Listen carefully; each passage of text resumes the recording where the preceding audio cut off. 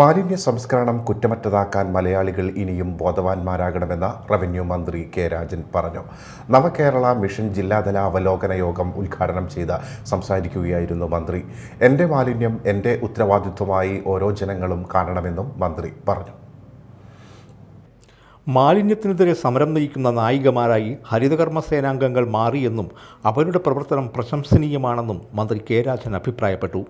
കേരളത്തിന്റെ വികസന വിടവുകൾ നികത്തിയും വികസന വെല്ലുവിളികൾക്ക് പരിഹാരം കണ്ടും നവകേരളം സൃഷ്ടിക്കുക എന്ന പ്രഖ്യാപിത ലക്ഷ്യത്തോടെയാണ് നാല് വികസന മിഷനുകൾ ഉൾപ്പെടുന്ന നവകേരളം കർമ്മ പദ്ധതി സംസ്ഥാന സർക്കാർ ആരംഭിച്ചത്.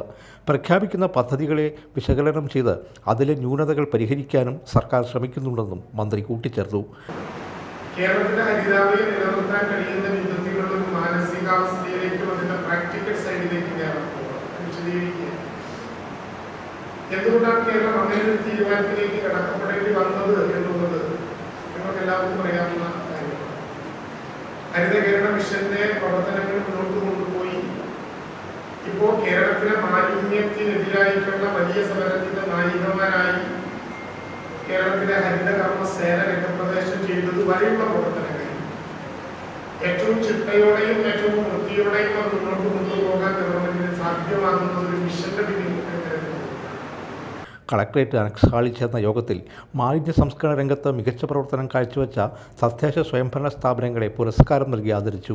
തുടർച്ചയായി നൂറ് ശതമാനം യൂസർ ഫീ കളക്ഷൻ കൂടുതൽ തവണ ലഭ്യമാക്കിയ കുന്നംകുളം നഗരസഭയിലെ അഞ്ചാം വാർഡ് മെമ്പറും സ്ഥിരം സമിതി അധ്യക്ഷനുമായ പി എം സുരേഷ് ഏറ്റവും കൂടുതൽ വാർഡുകളിൽ നൂറ് ശതമാനം യൂസർ ഫീ കളക്ഷൻ കൈവരിച്ച ഉരുമനയൂർ ഗ്രാമപഞ്ചായത്ത് പ്രസിഡന്റ് വിജിത സന്തോഷ് ഏറ്റവും കൂടുതൽ തുക മാസവരുമാനം ലഭിച്ച നെന്മണിക്കര ഗ്രാമപഞ്ചായത്തിലെ ഹരിതകർമ്മസേന അംഗം ഷൈജി ഏറ്റവും കൂടുതൽ അജൈവ മാലിന്യം വേർതിരിച്ചു നൽകിയ ഗ്രാമപഞ്ചായത്തായ Nenmanikkara panchayat president T S Baiju എന്നിവർ പുരസ്കാരങ്ങൾ ഏറ്റുവാങ്ങി.